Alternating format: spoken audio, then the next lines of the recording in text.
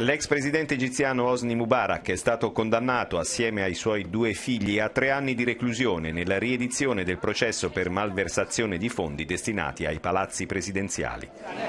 Mubarak era stato condannato a tre anni nel maggio 2014, ma la sentenza era stata annullata. Su Mubarak, 87 anni, pende ancora un ricorso della Procura contro la soluzione nel processo per l'uccisione di manifestanti.